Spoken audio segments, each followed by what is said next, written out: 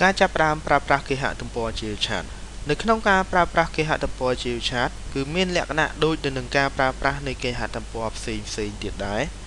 ដោយលោកអ្នកបើក browser ដែលលោកអ្នកប្រើបន្ទាប់មកនៅលើប្រអប់ address bar សូមវាយ address នៃគេហទំព័រ GeoChat គឺ geochat.instit.org បន្ទាប់មកសូមលោកអ្នកចុចលើ enter នេះគឺជាផ្ទាំង គេហទំព័រ GeoChat នៅពេលដែលលោកអ្នកបើកមកជាលើកដំបូងសូមលោកអ្នកកត់សម្គាល់ទៅលើចំណុច3សំខាន់សំខាន់គឺទី1 not register yet គឺសម្រាប់ឲ្យលោកអ្នកអាចបង្កើត user ថ្មី សម្រាប់ចូលទៅប្រើប្រាស់គេហទំព័រ GeoChat ទី2 I'm already using this on my phone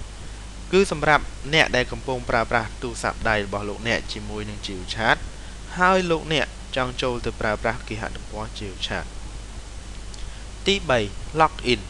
គឺសម្រាប់ឲ្យលោកអ្នកវាយ username និងលេខសម្ងាត់របស់លោកអ្នកចូលទៅប្រើប្រាស់គេហទំព័រ GeoChat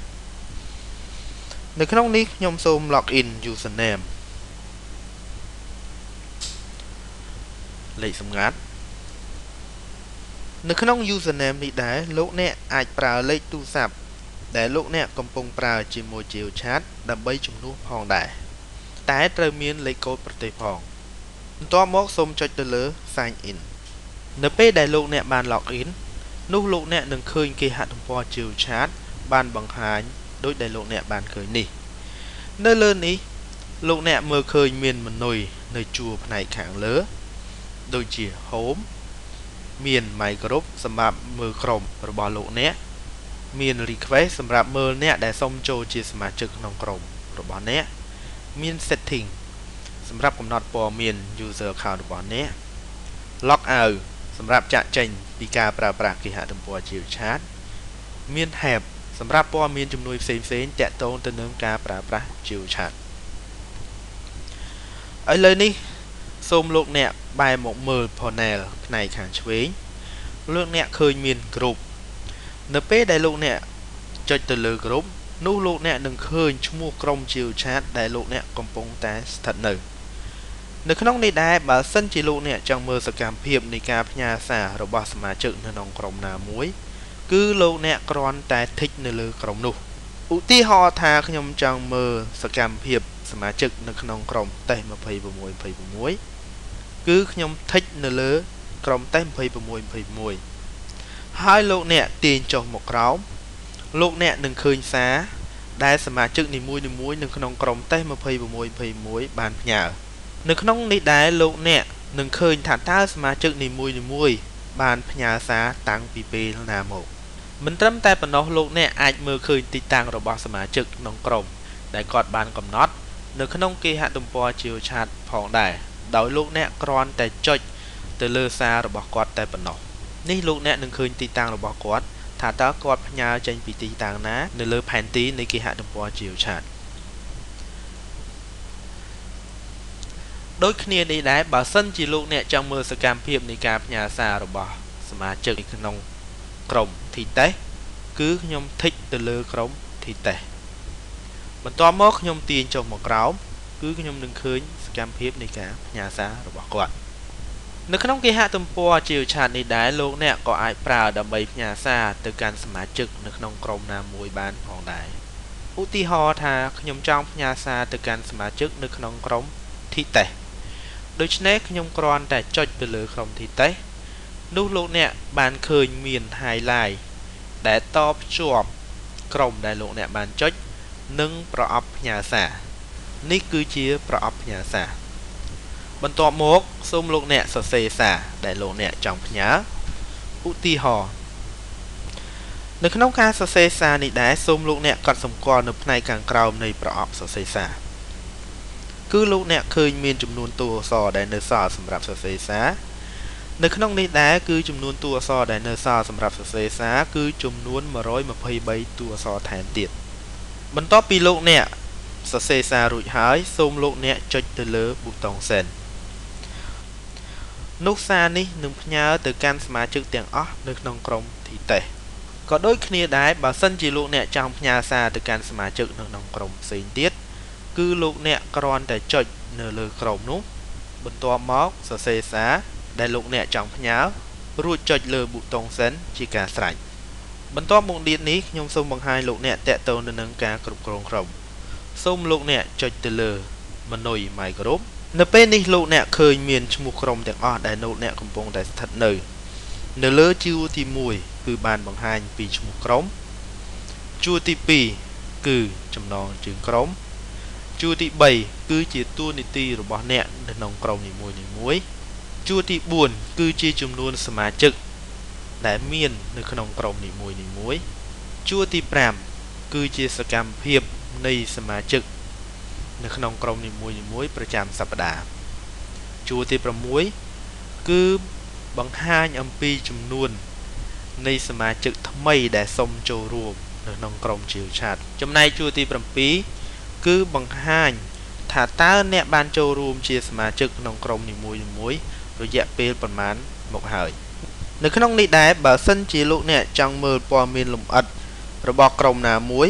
គឺលោកអ្នកគ្រាន់តែចុចលើក្រុមនោះឧទាហរណ៍ថាខ្ញុំចង់មើលព័ត៌មានលម្អិតនៅក្នុងក្រុមតេស្ត11គឺខ្ញុំគ្រាន់តែចុចលើលើក្រុមតេស្ត11សូមលោកអ្នកកត់សម្គាល់នៅផ្នែកខាងលើនេះ គឺបង្ហាញអំពីចំនួនសារដែលលោកអ្នកអាចប្រើបានក្នុងមួយសប្តាហ៍និងចំនួនសារដែលលោកអ្នកបានប្រើអស់ក្នុងរយៈពេល7ថ្ងៃចុងក្រោយខាងក្រោមនេះគឺជាឈ្មោះរបស់ក្រុម title ជាចំណងជើងរបស់ក្រុម description គឺជាការពណ៌នាអំពីក្រុម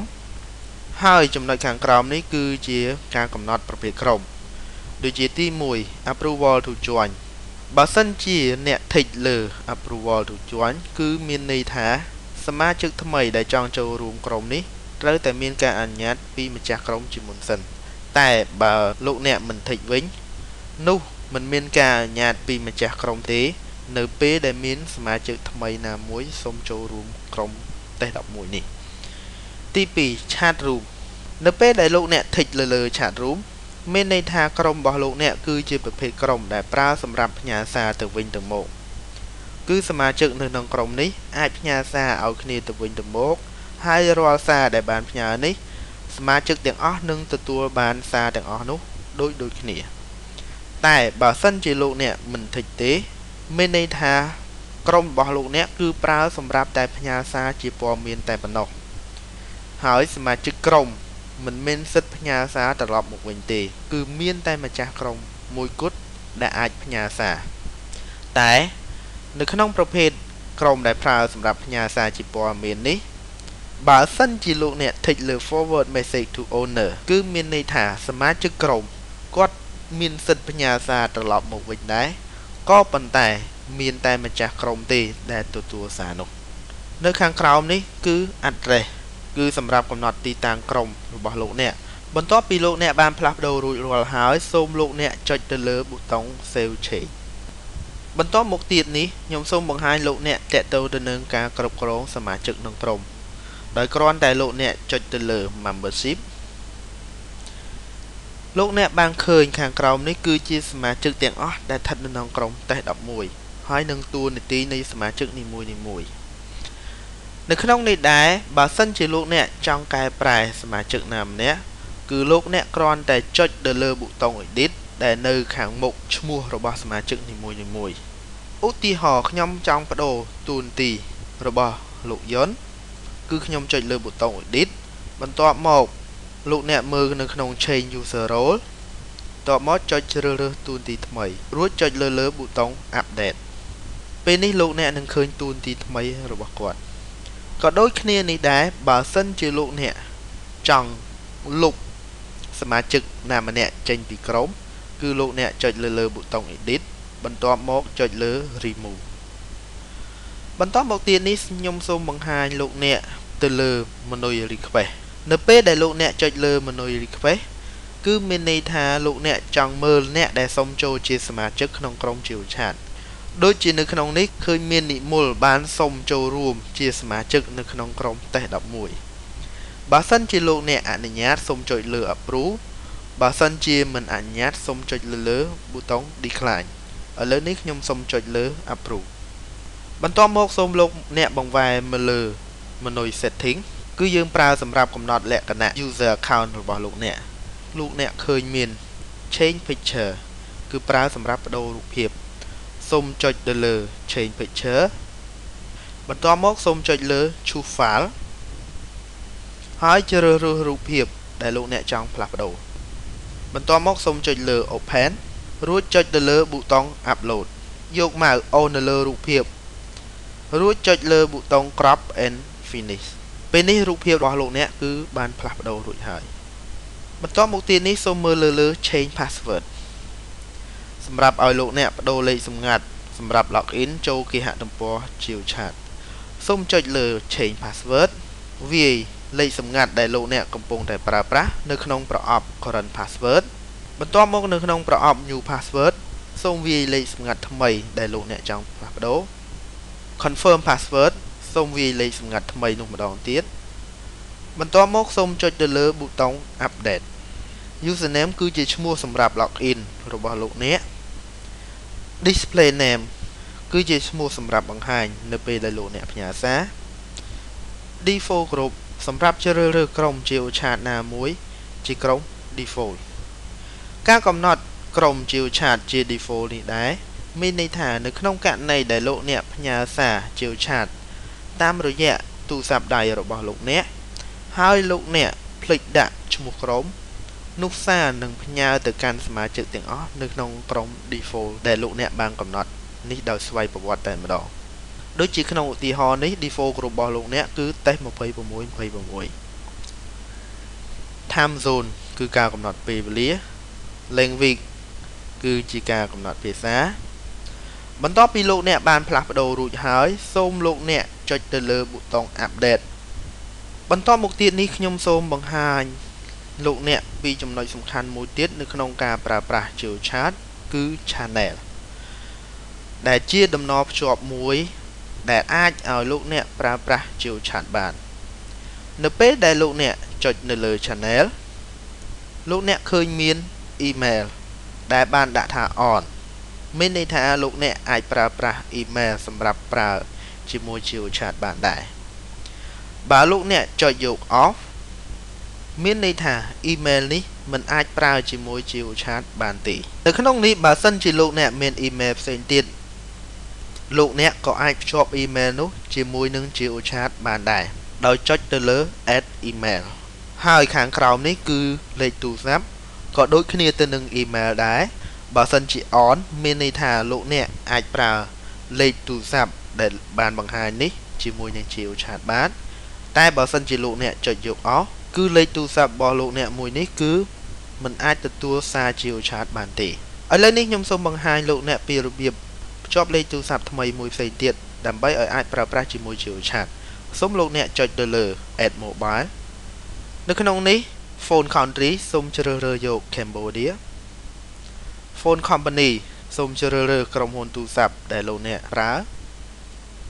Mobile Number សូមវាយលេខទូរស័ព្ទថ្មីដែលលោកអ្នកចង់ភ្ជាប់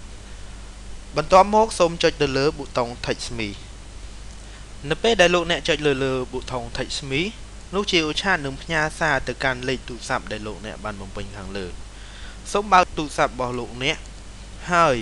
មើលលេខកូដដើម្បីបំពេញនៅក្នុងប្រអប់ខាងក្រោយនេះ បន្ទាប់ពីបំពេញលេខកូដរួចហើយសូមចុចទៅលើប៊ូតុង Submit ពេលនេះលោកអ្នកឃើញលេខទូរស័ព្ទថ្មី ដែលលោកអ្នកបានភ្ជាប់គឺអាចប្រើប្រាស់ជាមួយនឹង GeoChat បានហើយហើយលោកអ្នកក៏អាចបើកលេខទូរស័ព្ទណាមួយដើម្បីប្រើប្រាស់ជាមួយ GeoChat បានផងដែរហើយបើសិនជាលោកអ្នកចង់បន្ថែមលេខទូរស័ព្ទផ្សេងទៀតដែលលោកអ្នកមាន គឺលោកអ្នកចុចលើលើ Add Mobile នៅពេលដែលលោកអ្នកបានបញ្ចូលលេខទូរស័ព្ទរបស់លោកអ្នករួចហើយសូមលោកអ្នកចុចទៅលើ Update បន្តមកទៀតនេះខ្ញុំសូមបង្ហាញ លោកអ្នកតេតទៅនឹងការប្រើប្រាស់ Help នៅលើគេហទំព័រ GeoChat សូមលោកអ្នកចុចទៅលើមនុយ Help នោះលោកអ្នកនឹងឃើញមានផ្ទាំងថ្មីឧទាហរណ៍ថាខ្ញុំចង់ប្រើប្រាស់ជាភាសាខ្មែរចុចលើភាសាខ្មែរលោកអ្នកចង់មើលពីព័ត៌មានជំនួយផ្សេងផ្សេងសូមលោកអ្នកចុចលើមេតិកានេះគឺជាព័ត៌មានជំនួយដែលតកតងទៅនឹងការប្រើប្រាស់ GeoChat សូមអរគុណចំពោះការប្រើប្រាស់គេហទំព័រ GeoChat សូមចុចលើ log out នៅពេលដែលលោកអ្នកចូលប្រើ